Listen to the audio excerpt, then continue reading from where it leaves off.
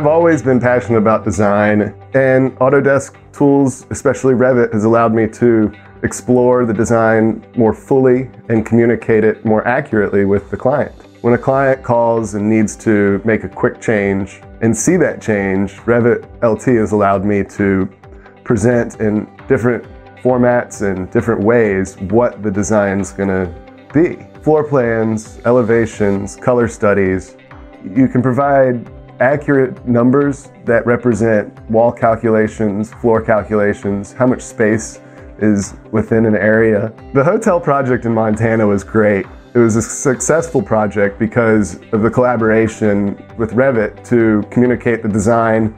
We went through many different styles and the iterations were created by the architect in Revit and sent to me to adjust and bring into 3D Studio Max and provide more accurate renderings with very detailed materials and lighting.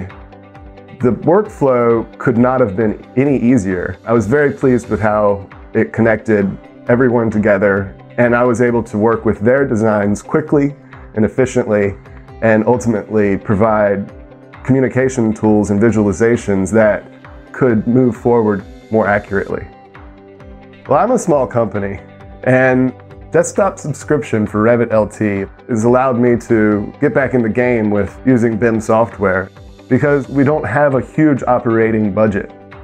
And it's more manageable when I can use a subscription-based software and move through the year feeling comfortable about maintaining a budget and still operating with a very sophisticated platform. There are so many great tools, the price is right, and ultimately, you want to use what the larger companies are using so you can compete and work together with them. Revit LT subscription base has been a dream come true for my company. When the building comes together in 3D, there's a sense of inspiration to see more of what that building can do and where the design can go. And it's not just the accuracy that people see. They see the story behind the design.